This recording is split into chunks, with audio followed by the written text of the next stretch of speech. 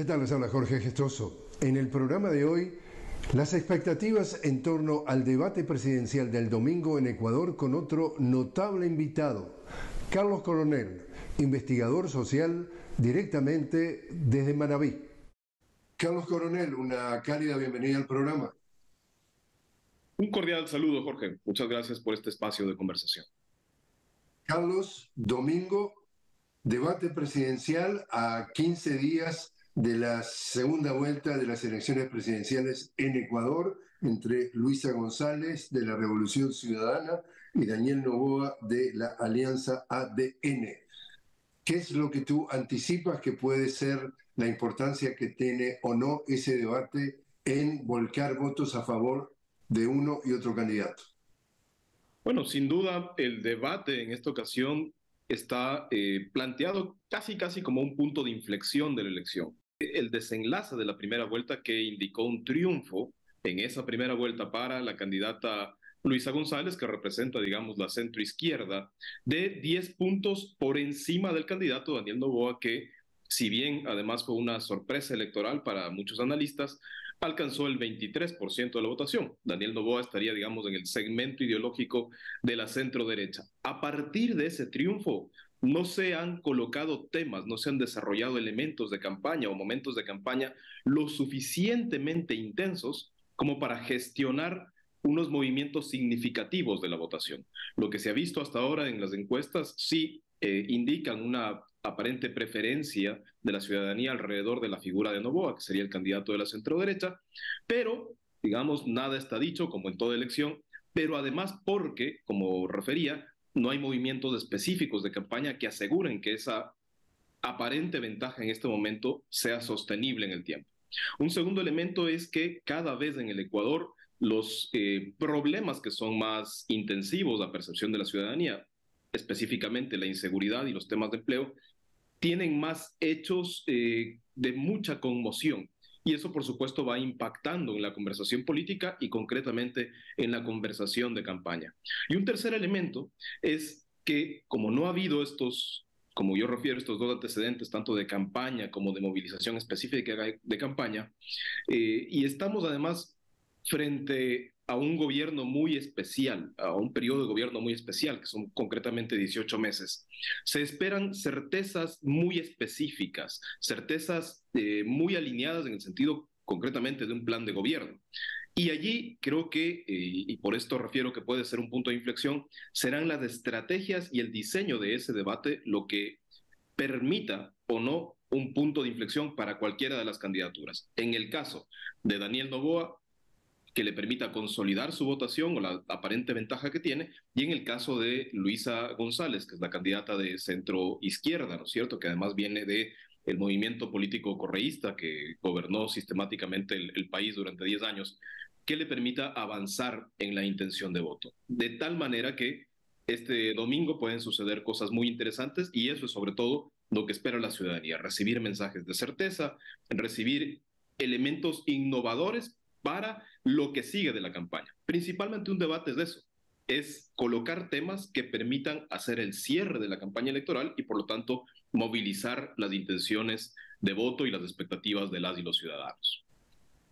A ver, Carlos, voy a tratar de simplificar, digamos, eh, a pinceladas muy gruesas todo esto. En el 2007 llega a la presidencia Rafael Correa con un programa de El Buen Vivir, gobierna por 10 años, viene de una década anterior en donde hubo siete presidentes en 10 años. Llega la presidencia Correa con eh, una, filosofía ideológica progresista, mejoran todos los índices de calidad de vida del país, eh, incluso económicamente.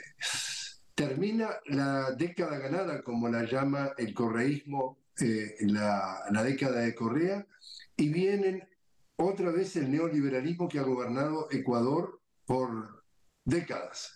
Esa década que viene después, es decir, eh, de Lenín Moreno, o, que se dio vuelta, según Correa, un traidor y salió de dejar la continuación del de, eh, el progresismo con un gobierno neoliberal. Y viene después el actual presidente Guillermo Lazo, principal accionario, un banquero principal accionista del Banco de Guayaquil, en donde su nombre aparece en los Pandora Papers como evasor de impuestos, eh, escondiendo su fortuna en paraísos fiscales. La economía del país, un desastre. Eh, se acusa que definitivamente el narcotráfico ha tomado las riendas del país. Se acusa que es un gobierno neoliberal que ha gobernado para las élites, para las minorías y no para el pueblo. Y cómo si este señor, Daniel Novoa, representa el status quo, representa más de lo mismo, representa todo lo que representó el pasado, puede llegar a estar, según tú, con una ventaja, o según las encuestas que tú estás citando, con alguna ventaja. Eh, ¿La ciudadanía ecuatoriana se está tirando un, tiro en el pie? Bueno, primero eh, es muy relevante el, eh, este paso por el tiempo que tú refieres, porque sin duda los indicadores de gestión de gobierno de este periodo significativo, ¿no es cierto?, del presidente Rafael Correa, del expresidente Rafael Correa, indican y dan una relevancia específica a su movimiento político. Digo, concretamente, su movimiento político a través de una candidatura, que es la de la eh, candidata Luisa González, logra el 33% de la votación. Eso es muy significativo. Ahora, ¿Qué sucede en el contexto de ese tiempo? Y por eso es importante que lo hayas referido, que hay un desgaste, ¿no es cierto? Y ese desgaste tal vez es el que está impidiendo la conexión eh, eficiente, eficaz entre el correísmo o entre la candidata González y la ciudadanía. Y además, concretamente, no le ha permitido movilizar la suficiente intención de voto en este segundo periodo o en este segundo momento de la campaña electoral. Eso por un lado. Por otro lado, la situación del país es bastante compleja. Estos eh, elementos de seguridad, de narcotráfico, primero que no son ajenos a el resto de países. El problema del narcotráfico en realidad es un problema regional y mundial en el cual se inscribe el Ecuador. Y se inscribe, digamos, entre otros elementos, por la disposición de puertos y por una cosa fundamental que me parece eh, importante incorporar al análisis, y que es una sistemática o un sistemático debilitamiento del Estado como capacidad de reacción, de representación de los ciudadanos. Es decir, cuando sucede un mal gobierno, y esto no es un tema de percepción, digamos, es, teórico y además está correspondido con datos de investigación, sobre todo cuantitativa. Cuando a un gobierno le va mal, cuando sus indicadores de ejecución presupuestaria y de percepción o valoración ciudadana no están bien, eventualmente no solo, digamos, hay un rechazo al gobierno, sino que además pueden sucederse daños significativos y permanentes en la institucionalidad y por lo tanto en la democracia. Creo que el Ecuador está pasando por este fenómeno. Es decir, hay eh, concretamente debilitamientos institucionales y políticos de falta de respuesta hacia los problemas de la ciudadanía que están derivando en desconfianza y en la incapacidad no solamente de uno de los grupos políticos, en general de la clase política, para establecer una conversación proactiva con los ciudadanos. En ese contexto de cosas es que sucede la elección y en ese contexto de cosas es que tal vez el, candidato Daniel Novoa tiene más facilidad o ha, tenido más facilidad en medio de esta fragilidad, de esta incertidumbre, para conectar con los ciudadanos. A la final, el, gran desafío de una campaña electoral, y que, por lo tanto es un desafío de la democracia, es poder plantear conversaciones en el tiempo para que no, tengamos que enfrentarnos solamente a, las tácticas y estrategias de mercadeo que eventualmente puedan eh, determinar que la ciudadanía elija eh, a, candidaturas que aparentemente, digamos, podrían representar algo que no les conviene. Carlos, déjame hacerle abogado del diablo de nuevo. Vemos, por ejemplo, que hay un proceso electoral en la Argentina y aparece este fenómeno eh, de alguna forma este, extraordinario que es un señor de ultraderecha que dice las cosas más insólitas y que de alguna forma el desafío al status quo. Él está en contra de todos los partidos, todo lo tradicional, todo lo que establecido, dice eh, la teoría, por lo menos en teoría, todo lo, todo lo político, todos los políticos, esos muestran que no han servido. Yo soy la nueva opción, yo soy la alternativa, yo soy el outsider. Pero acá estamos hablando de un señor, Daniel Novoa, es hijo de uno de los personajes más ricos del Ecuador, un hombre, su padre, que ha intentado tres veces ser presidente del Ecuador. Estamos hablando que este señor, por sus antecedentes, representa ya la fórmula que los datos económicos y los datos sociales muestran que ha sido un desastre. No es el caso de la Argentina que aparece un outsider y dice, tiren a la basura todo lo que está y yo soy la alternativa. Acá es más de lo mismo que reflotan para vender que esto puede ser lo que puede sacar al Ecuador del narcotráfico, del neoliberalismo, cuando él, de alguna forma, a través de su padre y sus valores, sigue vendiendo el neoliberalismo. ¿Cómo le vendes tú a una audiencia que nos está viendo fuera del Ecuador que eh, eh, el, ciudadano de a pie de Ecuador vuelve a tropezar con la misma piedra? Acá es todos contra el correísmo, independientemente de Novoa. Acá, para muchos analistas, la versión es paremos al correísmo a cualquier precio. ¿Cómo le dices tú a ese argumento? ¿Es cierto esa versión? Bueno, a ver, toda, toda campaña electoral tiene ese comportamiento, tiene un comportamiento de statu quo, ¿no es cierto? Y generalmente uno, dos, tres candidatos, diferentes candidatos que pueden defender ese statu quo y un candidato que aparentemente no viene de ese statu quo. ¿Qué sucede? Que después de 10 años de gobierno, ¿no es cierto? Y después de, eh, y de ser sin duda un actor político y electoral significativo, para la ciudadanía, y esto digamos lo comento desde el punto de vista de la investigación, es decir, a la luz de los resultados de la investigación, ese statu quo también involucra al correísmo y en esa, eh, eh, en esa situación, en, ese, eh, en esa relación mental que tiene, ese mapa mental que tienen las personas, es bastante difícil plantear esa diferenciación, por un lado. Por otro lado, plantear una diferenciación en este contexto de campaña le ha resultado complejo a, a, todas las candidaturas y particularmente a estas dos que han pasado a segunda vuelta. Si vemos la campaña de segunda vuelta, como decía, no ha incorporado mayores elementos que le permitan al ciudadano decidir.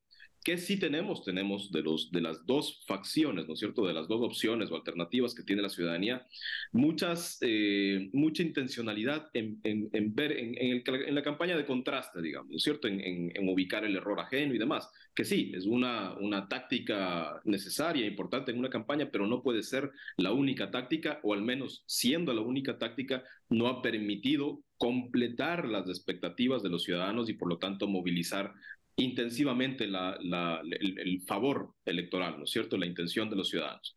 Yo lo vería así, es decir, comprendo absolutamente el, planteamiento que, me refieres y, el contexto en que lo ubicas. Lo que sucede también es que en ese contexto, el, correísmo a lo largo de los años, a vista de los ciudadanos, la percepción de los ciudadanos, de su imaginario, también ha terminado incorporándose a ese statu quo.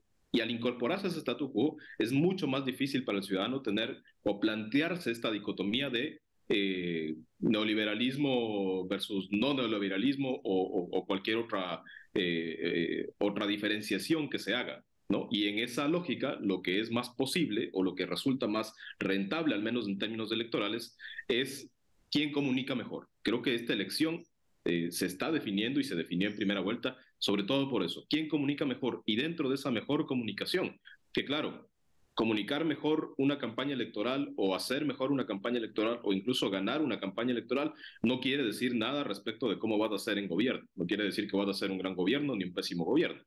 Pero es lo que ha definido hasta el momento este, y dentro de eso la ubicación de un arquetipo, concretamente el arquetipo de el rebelde, ¿no es cierto? Que es el que ha ocupado, sobre todo en el debate, la figura de Daniel Novoa, creo que es lo que le ha permitido a este personaje político crecer en las intenciones de voto. Carlos, te invito a hacer una pequeña pausa. Estamos hablando con Carlos Coronel directamente desde Manabí. Carlos, un investigador social sobre el debate electoral en Ecuador del domingo y eh, nada menos que la recta final de las elecciones presidenciales que solamente están a dos semanas. Ya regresamos.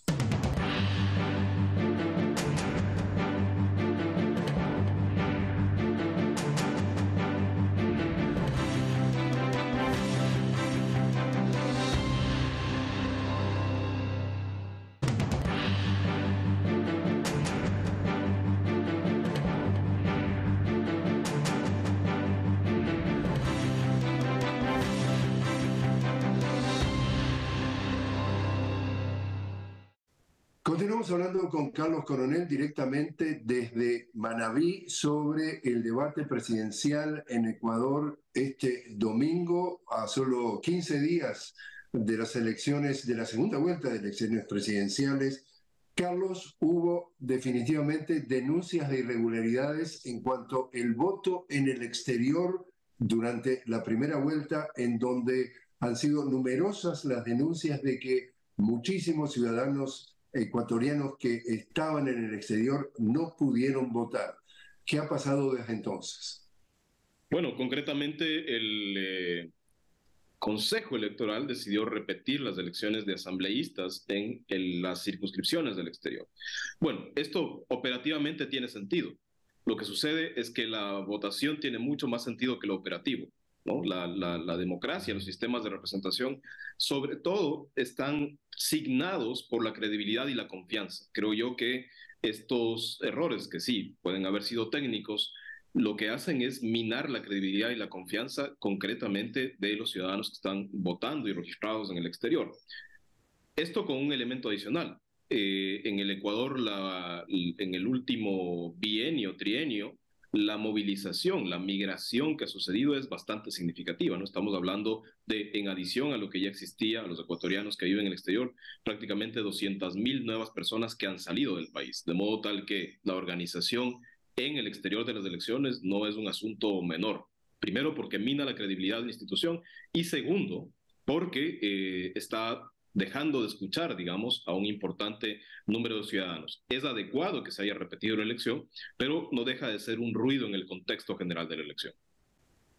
En el caso de antecedentes en, en nuestras Américas, de norte a sur, parece que se ha instalado un patrón en donde ya de antemano se empieza a especular que si yo no gano es fraude. Esto empieza como ejemplo con el presidente Donald Trump, el expresidente que incluso hasta hoy sigue repitiendo que eh, él perdió porque hubo un fraude. Lo vimos entonces con Keiko Fujimori que le llevó como tres semanas o un mes aceptar, entre comillas, el triunfo de Pedro Castillo, Castillo, pero digo entre comillas porque después le dieron un golpe de Estado porque no pudieron sacarlo antes de las elecciones. Lo vimos con Sandra Torres eh, y el señor Arevalo en eh, Guatemala, en donde Sandra Torres ya también hablaba de la posibilidad de un fraude y entonces sale el Consejo Nacional Electoral a tratar de sacar de circulación al partido Semilla. Acá tú ves que podría alguien sacar ya o crear de antemano el clima del fraude en caso de que no gane? De lo que se percibe, de lo que se ve eh, y, eventualmente por los valores que se disponen ahora de encuestas, no habría esa posibilidad. Ahora, nunca falta esa posibilidad.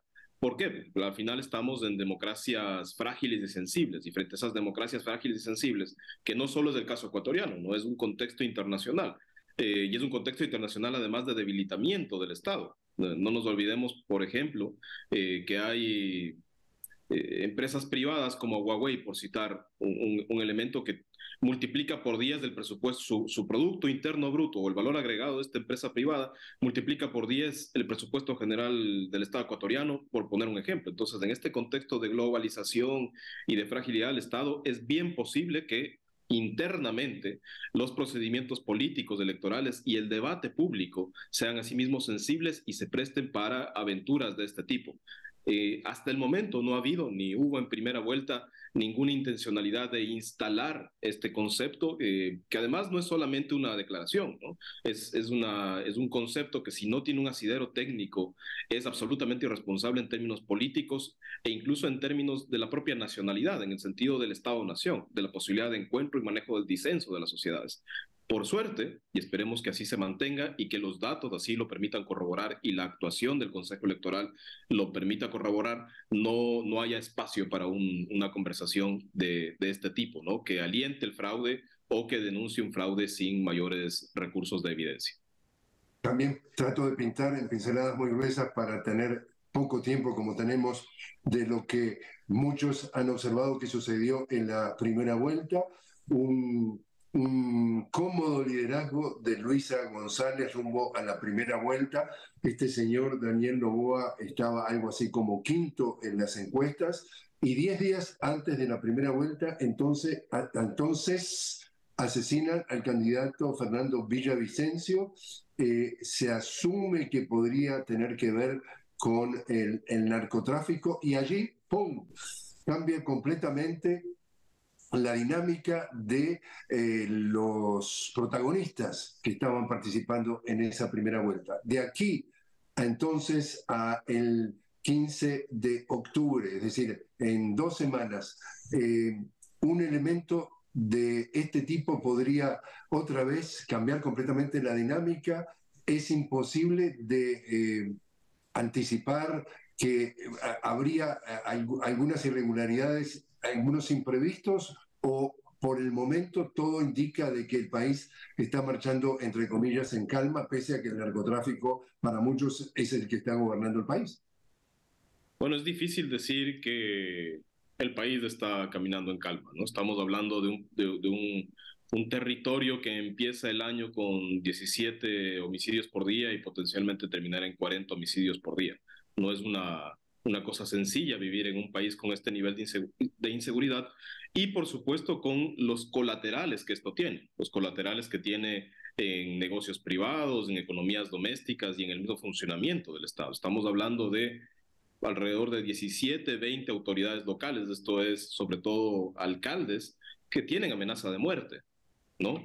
Eh, estás hablando de funcionarios de varios municipios que terminan asesinados no es un momento fácil para el Ecuador, ni es un momento fácil para hacer política en el Ecuador. En este contexto es difícil, muy difícil vaticinar que vaya a suceder algún imprevisto eh, en términos eh, de seguridad personal de, los candidatos en particular y en general en el Ecuador. En ese contexto de cosas, eh, la fragilidad que en efecto se evidenció en la primera vuelta a partir del lamentable fallecimiento y asesinato, ¿no es cierto?, de uno de los candidatos, implica que pueda haber cualquier movilización en torno a ese tema, cualquier movilización en la intención de voto. Sin embargo, por supuesto, la, la esperanza y el optimismo siempre deben primar, sobre todo porque la elección del próximo 15 de octubre determina la posibilidad de organizar al menos el país en esos 18 meses. ¿no? Si no se logra estabilizar en alguna medida la economía, la institucionalidad y, pongámoslo en términos muy sencillos, las riendas del país, va a ser muy difícil eh, de aquí en dos años poder plantearse un proyecto de nación para el Ecuador.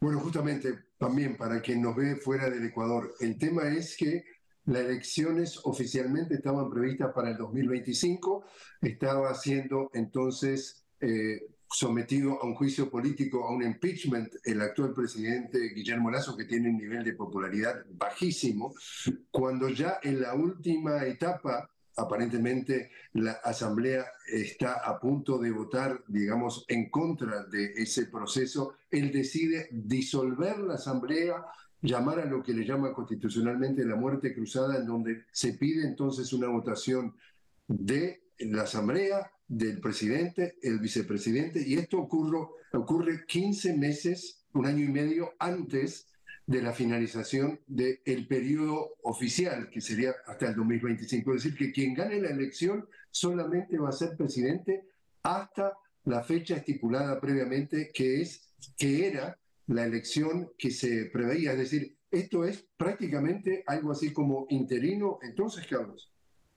Sí, es gobernar la mitad de un periodo, o mejor dicho, terminar el periodo de gobierno para el cual fue electo el actual presidente Guillermo Lazo. Es, así de, específico, con una diferencia, ¿no? Y es que los, eh, los problemas del Ecuador en estos últimos dos años se han incrementado significativamente.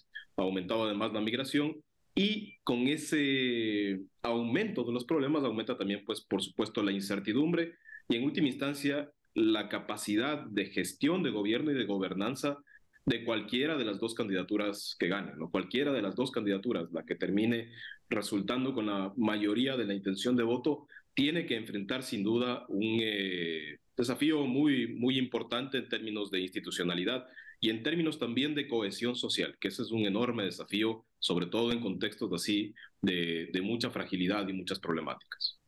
Y por último, entonces, Carlos, gane quien gane entonces en esta segunda vuelta del 15 de octubre, ¿cuándo asume el poder? Asume en principio, y digo en principio porque lamentablemente en nuestro país los, los plazos pueden modificarse más allá de lo que la ley permite en muchas ocasiones. En principio, a mediados de noviembre, según el calendario electoral, el Ecuador tendría nuevo presidente o nueva presidenta. Carlos Coronel, muchísimas gracias por estar con nosotros. Muchas gracias, Jorge. Un cordial saludo a toda tu audiencia.